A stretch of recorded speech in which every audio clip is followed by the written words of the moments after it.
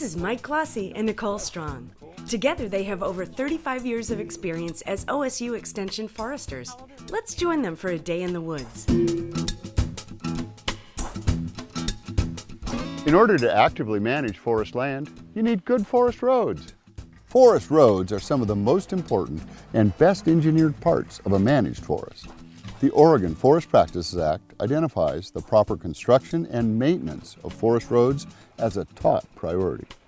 So why are forest roads so important? From a landowner's perspective, you need quality roads to access your forest land and support log trucks, fire trucks, and heavy machinery. A loaded log truck can weigh up to 80,000 pounds. You need a durable road to handle that kind of pressure. From an ecological perspective, forest roads have the potential to be a major source of unwanted muddy water in our streams.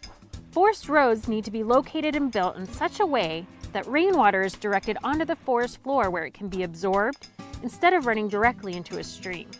When properly located, designed, built, and maintained, good forest roads protect our streams from muddy water runoff. And that is a good thing. Learn more about Oregon's sustainable forest practices at OregonForestLaws.org. So how else are we sustaining Oregon's forests? Come on, we'll show you.